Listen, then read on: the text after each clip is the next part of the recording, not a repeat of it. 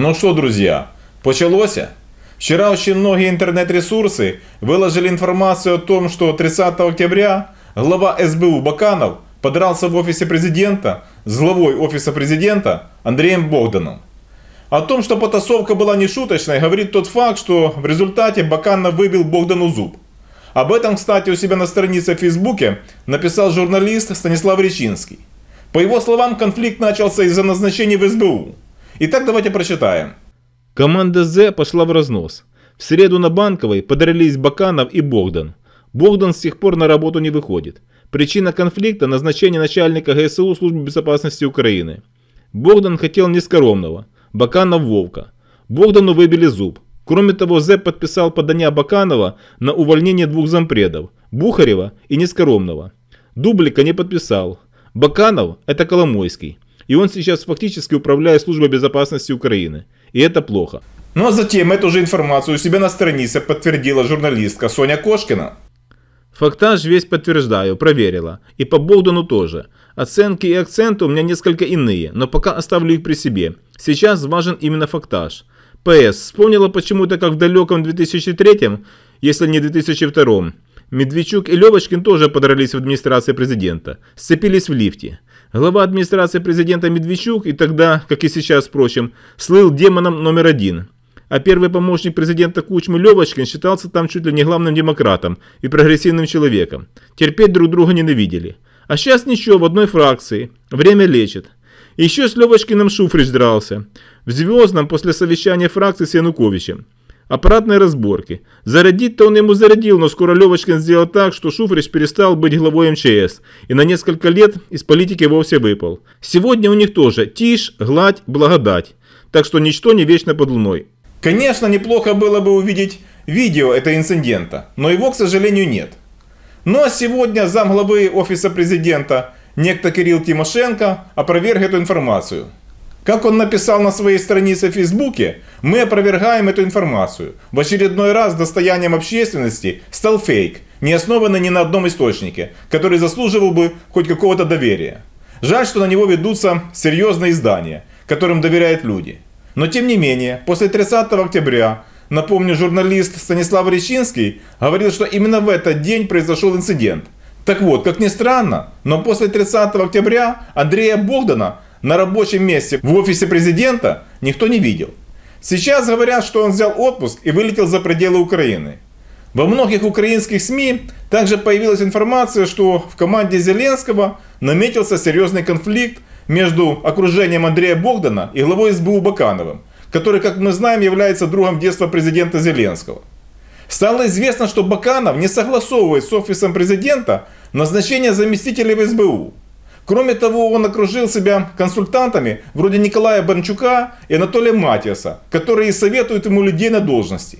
Также стало известно, что Баканов выступает за сохранение скандального департамента К, от которого изначально офис президента хотел отказаться. Но вот как ни крути, а все равно что-то не то происходит с командой Зеленского – так вездесущие журналисты засекли на одном мероприятии генерального прокурора Рябошапку вместе со своим подопечным, преступником Сергеем Стерненко. Вот я не понимаю одного. Зачем генеральному прокурору Рябошапке нужен весь этот негатив, который он получает из-за своего лояльного отношения к преступнику Стерненко? Ладно, этим грешил бывший генеральный прокурор Луценко – но ведь ты должен понимать, что ничего кроме негатива тебе этот союз не приносит. Неужели тебе тяжело понять, что журналисты не будут закрывать глаза на твою непонятную лояльность к этому Стерненко? Но, видимо, Рябошапке наплевать на то, что вот таким поведением он бросает тень на президента Зеленского. Но когда я увидел, какую фотку запостил у себя на странице в Фейсбуке министр экономики Тимофей Милованов, то я вообще пришел в недоумение. Известный, немного одиозный и очень популярный Алексей Гончаренко предложил мне читать книги вместе. Я вызов принял. Мы договорились, что я выбираю одну книгу для него, а он для меня. Мы их читаем, скажем, в течение недели, а потом пишем отзывы. И, возможно, даже публично обсуждаем. Мне эта идея очень нравится. Какую книгу вы бы посоветовали выбрать для Алексея Гончаренко? Ну вот скажите, как можно было делать селфи с человеком, который не просто критикует президента Зеленского, а который регулярно говорит про него гадости. Кроме того, мне непонятно, где этот Милованов говорит неправду. Ведь совсем недавно он выступал и говорил, что книжек не читает, поскольку считает это бесполезной тратой времени. А тут вдруг встретился с Лешиком Гончаренко и вдруг все забыл и начал сам себе противоречить. Но поскольку этот Милованов спрашивает, какую книжку бы вы посоветовали ему прочитать, то надо сказать, что посмотрев на это фото, очень много подписчиков ему посоветовали почитать вместе с Лешиком книжки об однополой любви. Но и опять же никак не может успокоиться депутат от «Слуги народа», любвеобильный Богдан Еременко, которого журналисты спалили на переписке с женщиной легкого поведения. Сначала он начал, как уж, выкручиваться, придумывая какие-то несусветные детские истории. А когда журналисты выложили в сеть еще несколько фотографий других переписок с такими же женщинами, вроде бы сник и признал свою вину.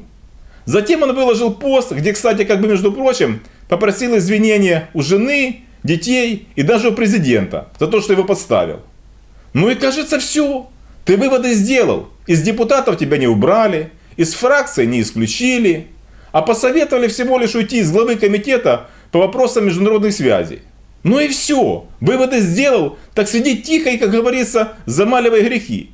Так нет же, ему и дальше не имется. Одним словом, он выложил у себя на странице в Фейсбуке фото заявления об уходе из главы комитета. Ну и ему один из подписчиков в комментариях написал, что, мол, я все время думал, что дипломаты старой школы должны быть немножко разведчиками. Вижу, что ошибся. Даже дети знают, что большинство шалав работают на спецслужбы. И вот этот Еременко, прекрасно понимая, что не только журналисты, но и рядовые пользователи Фейсбука сейчас отслеживают всю его переписку, берет и ему отвечает, что я просто не думал, что шалавам аккредитацию в Верховную Раду дают. То есть он пишет посты, даже не понимая, что оскорбляет журналистов, которые выполняют свою работу. Я думаю, что все-таки руководству фракции, да и всей фракции «Слуга народа» нужно более внимательно подойти к рассмотрению поведения этого народного депутата. Но не таких людей мы хотели видеть в команде президента Зеленского. Не таких.